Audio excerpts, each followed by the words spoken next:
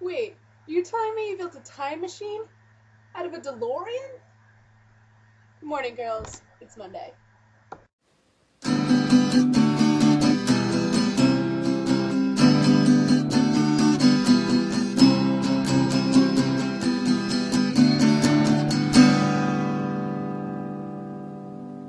Sorry about last week. I've been having what amounts to a horrible year so far.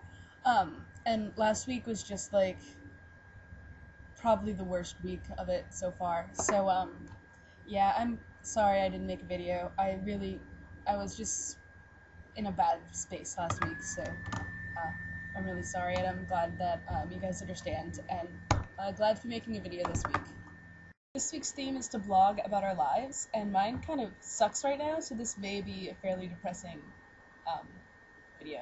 Uh, the worst thing that's happened this week, I guess, is uh, I have an external hard drive that I keep most of my computer on, and uh, I took it to Best Buy because it wasn't working, and they told me that it was dead, and that it would cost me uh, over a thousand dollars to get everything recovered off of it.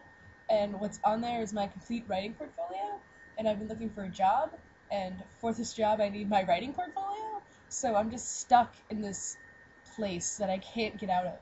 And um, thankfully I googled myself, um, I found a blog that I had like two years ago, and um, it had a whole bunch of my writing on it, so I have some of it saved, and I think I have a thumb drive at my parents' house that I might be able to, um, that might have stuff on it. So hopefully I didn't lose everything, but if I have the thumb drive, it's like first and second drafts and not like the stuff that was saved on my hard drive, which I, I need it.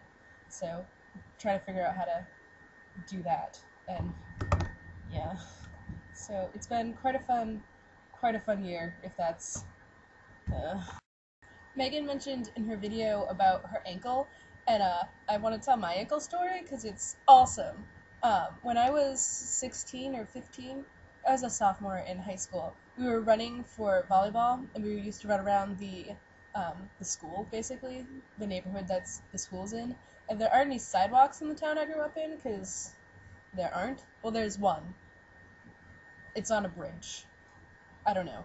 But uh, we were running, and I was on this side, and my friend was on this side, and we were running, and a car was coming this way, and she moved over and pushed me off the road, and my ankle went like this, and like snapped and was gross. But I continued to play the rest of the volleyball season on my ankle, and um, then I played junior Olympic volleyball on my ankle. And in April, I discovered we found out that it was stress fractured. So I was in a walking cast from April to June or July, and then I was in a regular cast from July until like almost September. And um, then they took it off, and my foot still goes like this because it didn't heal right, and my ankle is pretty much still broken. So that's my fun ankle story. It's uh yeah, I have to wear like two braces most of the time, and uh, it hurts like always, but mostly when it rains and snows and when it's really cold and really hot.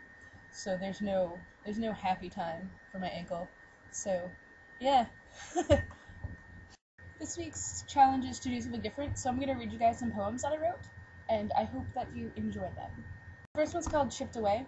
Um, I watched the birds chip away the last of his bones. Was death always this cruel? Slowly I lean back into my own awaiting doom. The door closes, darkness settles. It's not at all as I pictured. The darkness is almost comforting, comforting. But then again, I always liked being alone. The second one is called Nothing. Uh, the walls close slowly around. No hand to catch me as I fall into nothingness. I'm haunted by the knowledge of my own horrid acts. My soul means nothing. The axe handle is heavier than I once thought, but dead is nothing. The beating heart of the past clouds my mind, But yet it's nothing. I lead them to their demise, cold hard, cold hard rooms await, before they are nothing. If you enjoyed those poems, I happen to have a Webook page where I'm writing a novel, and I would really like it if you guys check that out. Um, I don't have any poems on there right now, so I didn't even know I had them saved anywhere. Um, so yeah, um, so check those out if you guys would like. And uh, Laura, I would really like to thank you. Uh, you know what for, but thank you so much, and I will see you tomorrow. Bye.